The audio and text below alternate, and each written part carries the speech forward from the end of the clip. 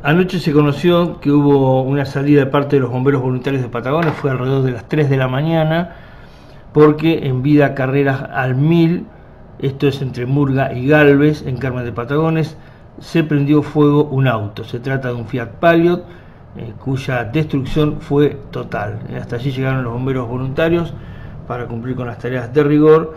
Había cuenta que cuando llegaron ya el vehículo siniestrado estaba en un estado muy muy avanzado en cuanto al incendio.